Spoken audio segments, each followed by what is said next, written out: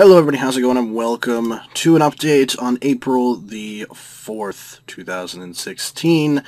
Uh, yeah, not a lot really happened this week actually. Um, there's definitely more of a, uh, there's a lot of cool stuff coming, and this week is to kind of fix everything up and make sure everything's okay after April Fool's Day, which is typical for a first of the month update unless there's something huge coming that they promised, like, uh, I don't know, God Wars 2 for example, but that was an end of the month update. They had all month to kind of, uh, you know, do that and get it all up to, uh, to par and sparse and stuff. I am slaying some Bloodvelds, and I have 140 of them to go. I could come in here with Throne and maybe do some range training, but honestly, can't be bothered. I'm not even bothering to pick up Charms at this point. Um, I'm more or less just kind of, you know, here to kill them and get the hell out. Um, it's okay strength training, though, let's be fair. Uh, it's not too, too bad. Uh, but anyway, the updates this week are essentially a bunch of patches for certain things that were glitching that people had reported throughout the last week or so, uh, Terrorbird mount stuff, and some Solomon store stuff. So first of all, uh, April is going to be a busy month. It, it really is. If you've read the behind the scenes, you know kind of what's going to happen. There are two big updates having to do with Morytania. One of them has to do with the vampires. Uh, essentially, it's a uh, finale quest for the um, Morytania quest line. Uh, though many people thought Branches of Darkmeer was going to be that, apparently it is not. So, hooray, another one. Uh, personally, I despise uh, Morytania with a bloody passion, so I'm probably not that interested in these updates, but I mean, there's a lot of people that find it very interesting, and the lore in those quests is actually quite deep, and if you enjoy RuneScape storyline and lore, you'll probably enjoy the quest. Uh, but anyway, uh, also the launch of the NXT client is coming out this month. I believe on the 18th was the release date, so that'll be the third update in the month. Uh, actually, it will it be the third or will it be the last? No, it'll be the, yeah, the third update in the month. Uh, so we'll probably see those Vampire quests first, and then uh, NXT, and then the last update of the month will probably just be bug fixes for NXT, because there'll probably be a lot. I imagine uh, the beta and stuff has definitely ironed the hell out of it, but there will still be some bugs and stuff like that to do in the first week or two. Uh, so expect a lot of updates, I imagine, that week. But anyway, the patch notes. Uh, basically just reading from the thing here. Uh, I will also link all this in the description below. Clans have received some love. There are some useful changes to a host of items and NPCs amongst this week's fixes. Uh, you can check out everything that's gone uh, gone in the game by reading the full patch notes on the forum thread. Again, link in the description. Uh, I will quickly go over some of the more important ones, maybe. Uh, while there are no major, major updates this week, as I previously said, there are all kinds of stuff coming in April from the finale quest for the Vampire uh, quest line to the NXT client on the 18th of April. And uh, yeah, you can watch the behind the scenes video if you want to see them kind of talking about what's going on this month. Again, uh, I will link it in the description. So the patch notes essentially, there's a lot of shit that they did, an absolute ton of stuff.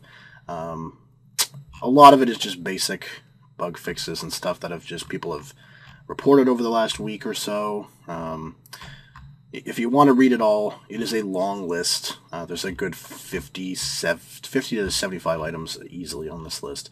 Uh, so you can just hit the link in the description, give that a quick read through. They have it categorized too, so if there's something uh, that you were looking for uh, fixed with God Wars 2, there's a list for that. There's a list for Quest, uh, Skills D&D's, Graphical, uh, Clan, other ninja fixes apparently. So there's all kinds of stuff uh, definitely give it a read if you, that's uh, something you want to know about. If there's a bug that's been bugging you and you've either reported it or know somebody that reported it, it might be fixed now, so you can definitely give that a read.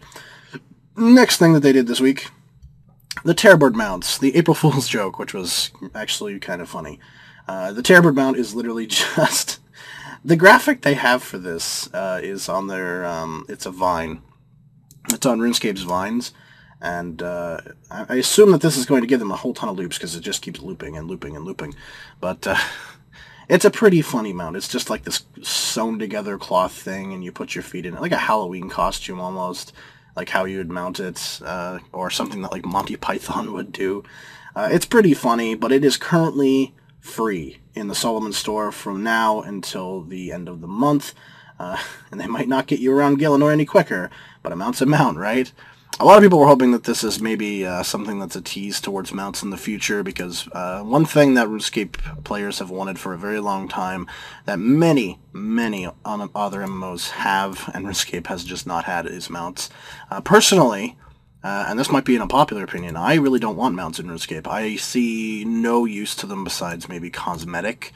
Um, as far as getting around the world, RuneScape is different in the fact of many other MMOs that RuneScape is heavily teleport based.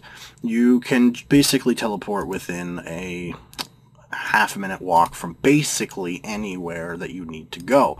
From the lodestones to the regular teleports to special items and items like uh, the Ring of Wealth and Glory to stuff like uh, quest teleports like the ferry system, the balloons, um, uh, the the logs on the River Lum, for example.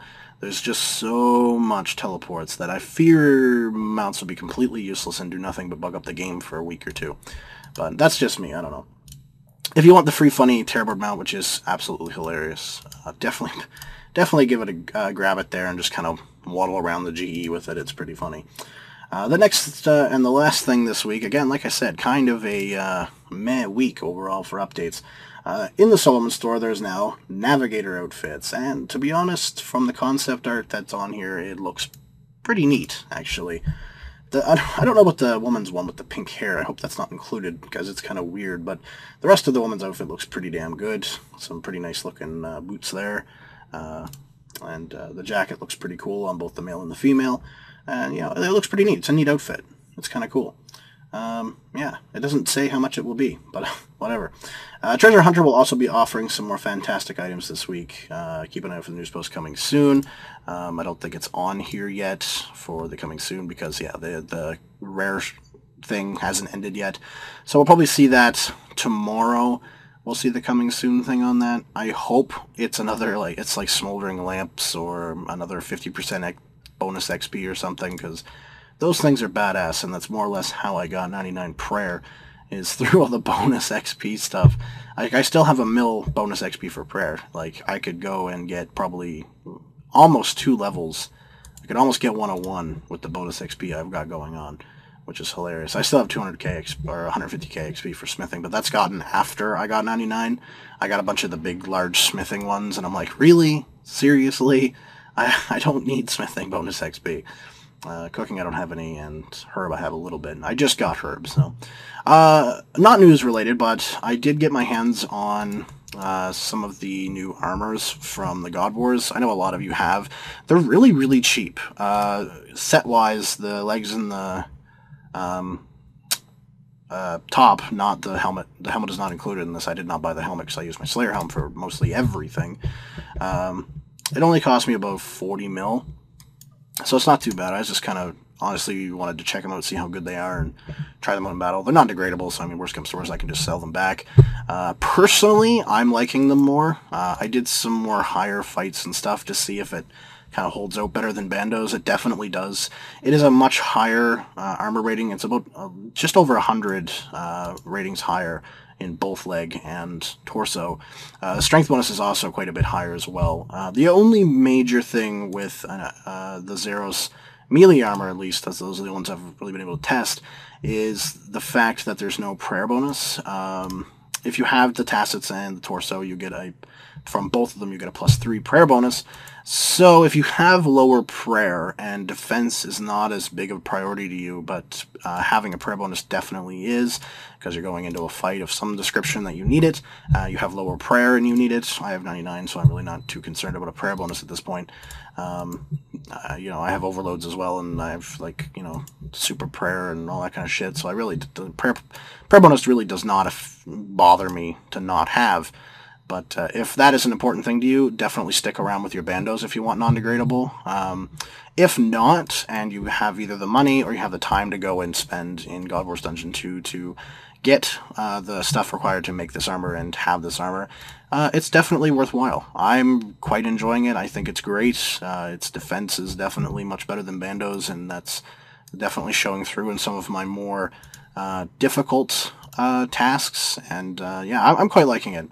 I think it's I think it's a great uh, addition into the game. That's not like a super high level. It's not breaking any boundaries. Like stuff like Malevolent is still like you know the best kind of stuff in the game. It's tier 90 degradable, but it is the, the stats show uh, definitely. But uh, for something for people who either one, you know, can't really afford to have the whole degrade stuff yet, uh, but want to improve their armor from the bandos because they just feel the bandos is not doing it, uh, it's it's a good addition. Uh, they're all good additions. Uh, I don't think it's going to drop bandos either because of the lack of that prayer bonus, and because bandos for um, invention stuff is still quite popular because it's easy and cheap to get a hold of, and there's lots of it in the game.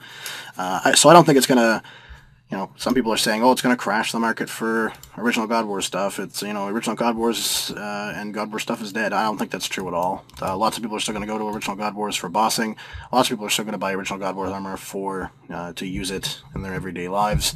Uh, so I really don't think that it's the apocalypse for that. But anyway, uh, that had nothing to do with the update. I just wanted to kind of make a comment on that uh, while because it kind of fits into the update thing. I'll probably talk about I'll talk more about it in the vlog on Wednesday. excuse me, on Wednesday. So, anyway, guys, thank you very much for watching. Um, enjoy the updates, I guess. I don't know if you're going to get the outfit, great. It looks pretty cool.